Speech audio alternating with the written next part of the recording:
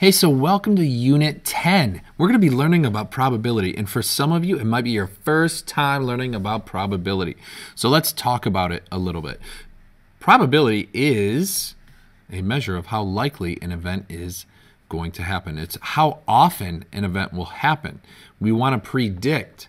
Okay, the way we really do this normally is we take the number of successes or the number of, you know, whatever we're looking for and put it out of the total number of trials that we're doing. All right, so let's put another E on that. Number of successes. So it might be we're talking about a football team and how many times they win, and we want to know the probability they will win. So we take the total number of games and the number of successes, in this case that would be wins, and we divide it out. Now here's what we have figured out with our probability. If something will never happen and it's impossible, then you will have no successes, and that fraction will be 0 over something. Well, that's going to equal 0 when we reduce it. So an impossible event will have a probability of 0. Whereas if something always happens, that means that the number of successes is the same as the total because it always happens. And whenever you get a number that's over itself, that ratio there, that can be reduced to 1. So we have this probability scale where the lowest number is going to be 0 and the highest number is 1. All probabilities will fall between 0 and 1.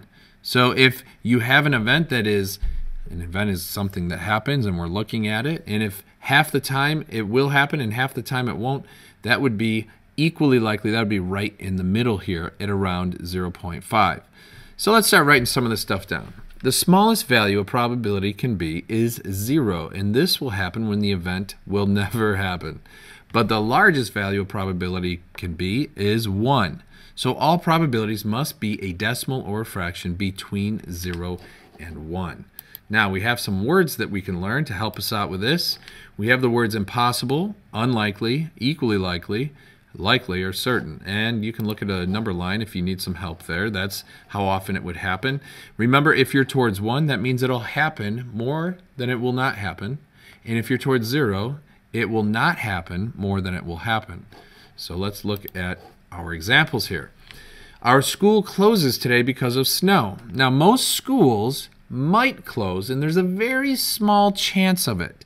The way that we can use some probability notation to write that is we can use a P and then no school. That represents the probability that there is no school. In fact, the rules are pretty pretty loose. You can do a whole lot of things. We can write the probability that you, you know, fall asleep tonight. We'll just write P of sleep. All right, so when we see these P's with parentheses, we're asking what is the probability, in this case, uh, that there's no school, and we're assuming because of snow. Now, most schools, uh, they once in a while have a snow day, but the probability that there will be no school is actually really low, right? So it's probably not going to happen. So we say that is unlikely. How about if you get a head when you're flipping a coin? Well, that will happen exactly half the time, right? There's two outcomes. So you can either get a heads or a tails, and then a success here would be a head. So one success out of two, that would be equally likely. You get a head half the time. Okay, how about number three? You roll a number less than 10 on a six-sided number cube. Well, a six-sided number cube is just dice. Okay, we know what dice are, right? So what is the probability that you roll a number less than 10? Here's how I can write that. The probability that a number is less than 10. Well, we would call that certain because all the numbers are less than 10. So it'll always happen. Last one, your car or your parents' car. Okay? Your car will start in the morning. Well, that's probably going to happen, but not always. I mean, once in a while it doesn't start.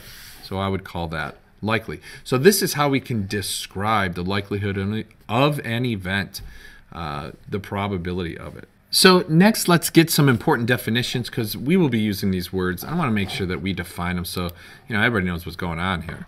So the first thing, an event. If we start talking about an event, then that is an action that takes place. Could be anything. Could be the weather. Could be raining, right? Could be the school gets closed for snow. Could be that I have pizza for lunch. Could be really anything that you want to look at. That's what an event is. An outcome. Well, an outcome is the result of some event. Okay, so if you go to lunch and the outcome could be that you get pizza. Okay, maybe you get a sandwich. I love sandwiches. All right, next word, likelihood. Likelihood is how often an event will occur. And lastly, the sample space. If I want to list down all possible things that can happen, then that is called the sample space. For example, if we have a coin and I toss it, there are two possible outcomes for the sample space. What can happen when you toss a coin? You can get a heads or you can get a tails. That would be the sample space because it includes everything that is possible. How about for a number cube? A number cube, they have what, six dice is what I'm talking about. So there are six outcomes for that. So the sample space would be a one, a two, a three, a four, a five, and a six. So this would be the sample space for flipping a coin. This would be the sample space for rolling a die or dice. All right, those are definitions. We, we're going to use these as we move on, so I just want you to be familiar with them. How about that? Let's move on. Let's talk about theoretical versus experimental probability. Now, theoretical probability, that's in theory. Okay, this is what should happen. This describes how likely it is how likely it is that an event will happen based on all the possible outcomes and how frequently they occur. It's what should happen, and it uses a ratio of the number of ways it should occur over the number of possible outcomes. All right, so this in theory, let's look at this problem down here, which aligns to this theoretical probability. If we roll a six-sided number cube, that's die again, 140 times, how many times should we get a four? So I want to know in this case, what is the probability of getting a four? That's how I could write that, P of four. Well, let's see. The probability of getting a four theoretically, there are six outcomes. So we put the total number of outcomes down there. One of them is a success, so it would be one out of six. So I like to sometimes say, all right, we have our successes up here, we have our total down here, and we know that the probability for this is going to be one out of six. We want that to equal how many, so I'll use x, right, out of 140. So out of 140 total, how many successes will we have? Here's how we can figure that out. So we take the probability and we set it equal to the ratio of successes over total. How do you solve this? This is easy. We can go cross multiply, that's one way. 6 times x equals 140. We can divide by 6. And we will get, this is an ugly number. What do we get for this? Ah, my calculator tells me 23.3333, right? So let's write that down. So x is about 23.33. Let's use a unit here. How many times? We'll just say times.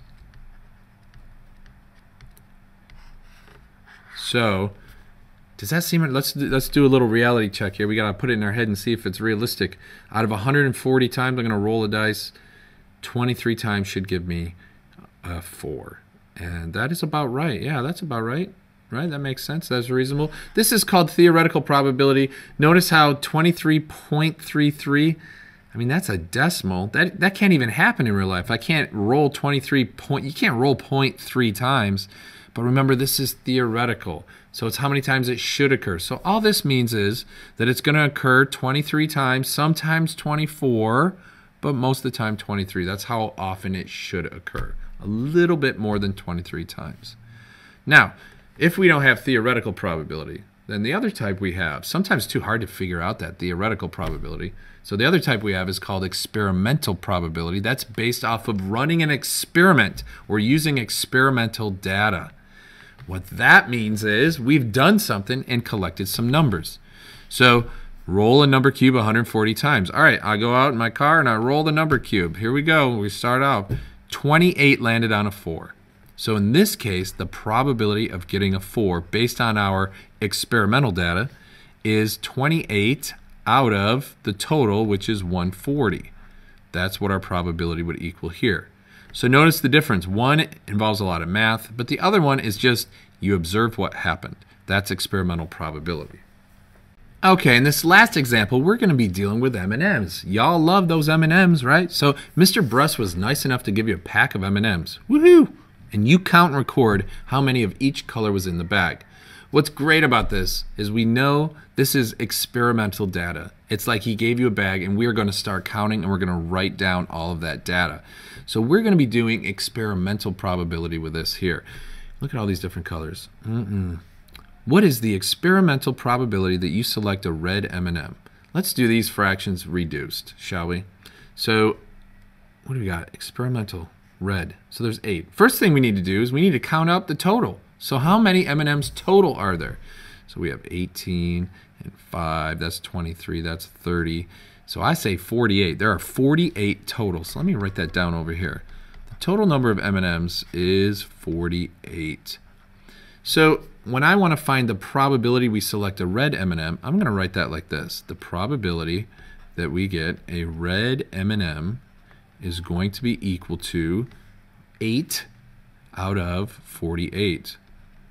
Well, guess what? We like our fractions reduced around here. So we're going to reduce that to 1 out of 6. Easy enough, right? So the probability of getting red is 1 out of 6. Let's do a couple more. The probability of getting a yellow. Well, that would be 5 out of the total, which is 48. That does not reduce. So that's easy math. Uh, what about the probability of green or brown? Well, green or brown. I can have one or the other. So these are all successes here. So I need to add them together. That is 18 successes out of, so this equals 18 out of the 48. Well, let's reduce that. So what do we get? 9 out of 24 till you put a 3 in it. So you get 3 out of 8.